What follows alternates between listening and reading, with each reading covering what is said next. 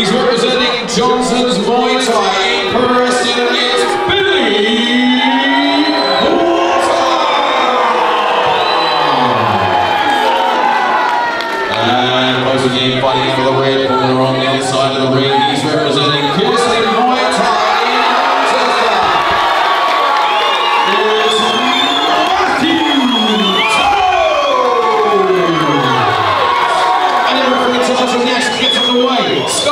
Bolsonaro.